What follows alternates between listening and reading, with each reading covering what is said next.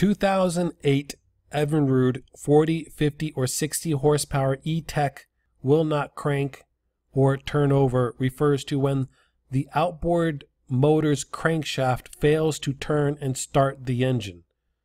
This video discusses the main reasons why an Evinrude E-TEC outboard motor will not crank and what you can check so as to remedy the starting problem. Now, whenever you're working on your outboard engine, I highly recommend that you get a repair manual.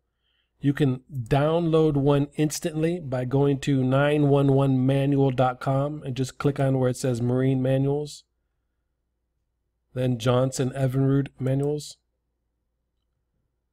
And then you can just download the manual you need instantly. Okay, so number one, the battery switch is not on. Now you'll want to check the battery switch operation. Make sure it's on. Number two, discharged battery. Check the battery. Charge it, or if you need to, replace it. Number three, battery cables and connections. Clean and tighten connections of any corrosion. Check for voltage drop in the starter circuit. Number four, faulty connection or ground or damaged electrical harness. And what you need to do is check all grounds, connections, and wiring. Number five, the 10A fuse. Check the wiring, then replace faulty fuse. Number six, wiring harness.